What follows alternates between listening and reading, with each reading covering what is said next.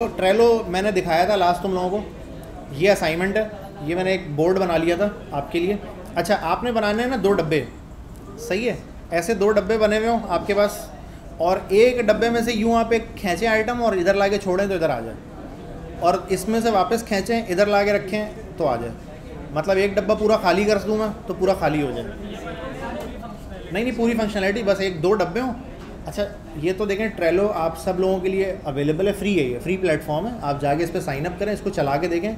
ये मैंने लास्ट एक दफ़ा एक्सप्लेन किया था कि ये करता क्या है। ये प्रोजेक्ट मैनेजमेंट का सॉफ्टवेयर है।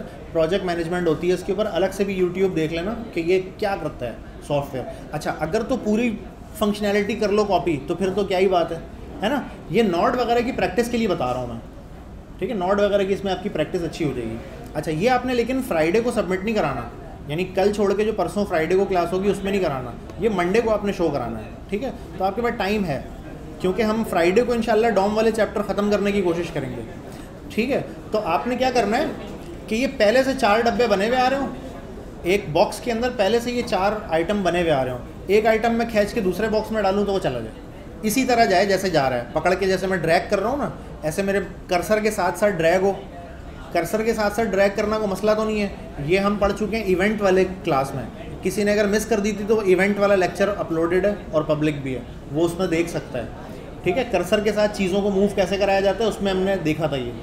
अच्छा दूसरा ये आइडियली ये हो कि जी दो जो बॉक्सेस बने हुए ना, चार आइटम पहले से बने हुए आ रहे हो। और मैं अगर चाहूँ तो मैं यहाँ पे ऐसे किसी एक डब्बे पे ना क्लिक करके और ऐसे कुछ टाइप करके एक नया आइटम भी उसमें ऐड कर दूँ आइडियली ठीक है? मिनिमम रिक्वायरमेंट मैं बता रहा हूँ कि क्या है? दो डब्बे बने हुए हो, चार आइटम हो, एक को खींच के इधर करूँ, आ जाए। दूसरे को खींच के इधर करूँ, आ जाए। ऐसे हो।